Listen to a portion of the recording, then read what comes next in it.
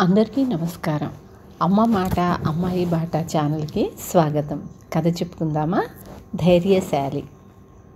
నారాయణవరం జమీ విస్తీర్ణలో చిన్నదైన అందులో ఎన్నో సంపన్నమైన గ్రామాలుండేవి.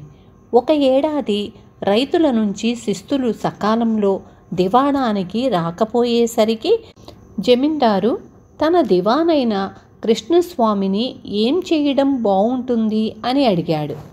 అయ్యా వాళ్ళే దివాణానికి వచ్చి శిస్తులు చెల్లించిపోతారని మనం చూస్తూ ఊరుకోవడం మంచిది కాదు. ఒకసారి రైతులకు శిస్తులు చెల్లించడం కొంత ఆలస్యం అయినా పర్వాలేదన్న ధీమా కలిగిందో మనం అలుసైపోతాము. అందువల్ల నేనే స్వయంగా బయలుదేరి వెళ్ళి కొన్ని గ్రామాల్లో శిస్తు వసూలు చేసి మిగతా గ్రామాలకు హెచ్చరికగా మనుషుల ద్వారా కబురు పెడతాను అన్నాడు దివాను. జమీందారుకు ఈ పద్ధతి నచ్చింది. ఆ మర్నాడే దివాను నలుగురు భటులను వెంటబెట్టుకొని శిస్తు వసూలుకు బయలుదేరాడు. ఒక వారం పాటు వాళ్ళు అలా గ్రామాలు తిరిగి రైతుల నుంచి శిస్తు డబ్బులు వసూలు చేశారు. తర్వాత నలుగురు భటులు మిగతా గ్రామాలకు పోయి వెంటనే శిస్తు డబ్బు దివాణానికి వచ్చి చెల్లించవలసిందిగా రైతులను హెచ్చరించి తిరిగి వచ్చారు.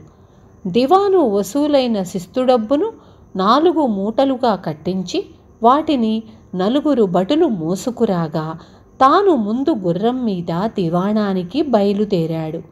సూర్యాస్తమయ వేళకు వాళ్ళు ఒక పెద్ద చెరువు ప్రాంతానికి చేరారు.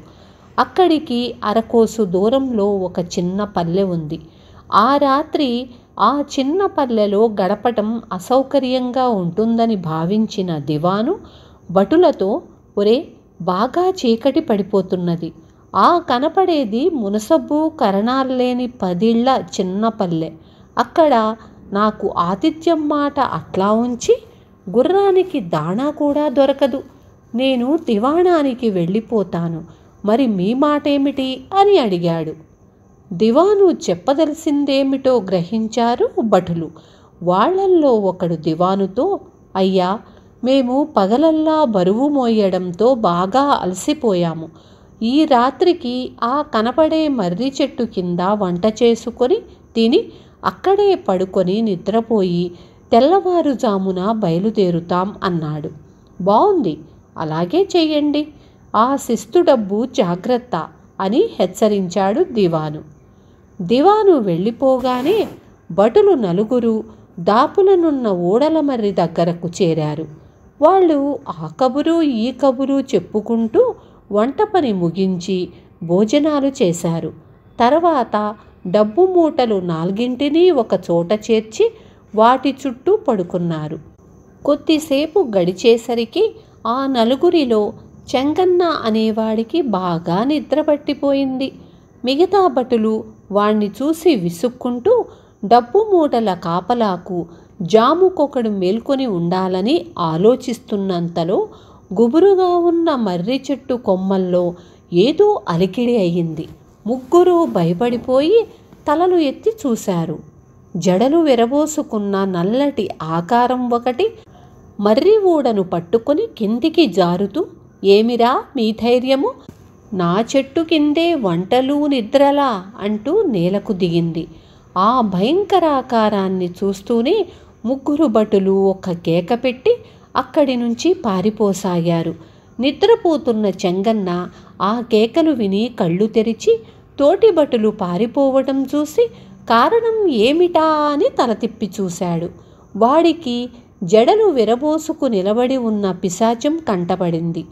పారిపోయిన భటులు ముగ్గురు దివాణం చేరి జరిగిన సంగతి జమీందారుకు చెప్పారు. ఆయన భటులను పిరికి వెధవలంటూ తిట్టి మరి నలుగురు భటులతో తెల్లవారే సమయానికి మర్రి చెట్టు దగ్గరకి వచ్చాడు. ఆయనకు చెంగన్న డబ్బు సంచుల మీద రెండు చేతులు ఆనించి కూర్చొని ఉండటం కనిపించింది. జమీందారు వాడి ధైర్యానికి మెచ్చుకొని అక్కడికక్కడే నూరు వరహాలు బహుమానం ఇచ్చి సంచులతో తిరుగు ప్రయాణం అయ్యాడు. పారిపోయిన భటుల ద్వారా ముందుగానే ఈ సంగతి అందరికీ తెలిసిపోయింది. చెంగన్న ఇల్లు చేరగానే వాడి భార్య నువ్వింత ధైర్యశాలివని నేనేనాడూ అనుకోలేదు అన్నది మెచ్చుకుంటూ దానికి చెంగన్న నేనెంత ధైర్యశాలినో నాకు ఆ జడ పిశాచానికే తెలుసు. మిగతా ముగ్గురికి దాన్ని చూశాక పారిపోయేందుకు కాళ్ళల్లో సత్తువైనా ఉంది. నాకు అదీ లేక గుండె బేజారై మూర్చపోయాను తెల్లవారుజామున జమీందారు గారి గుర్రం గిట్టల చప్పుడుకు స్పృహ తెలిసింది అన్నాడు. అలాగా అని చెంగన్న భార్య ఆశ్చర్యపోయి అయితే నీకు నాకు ఆ పిశాచానికి మాత్రమే తెలిసిన ఈ గుట్టు బయటికి పొక్కకూడదు అన్నది నవ్వుతూ విన్నారు కదా? రేపు మళ్ళీ ఇంకొక మంచి కథతో మీ ముందుకు వస్తాను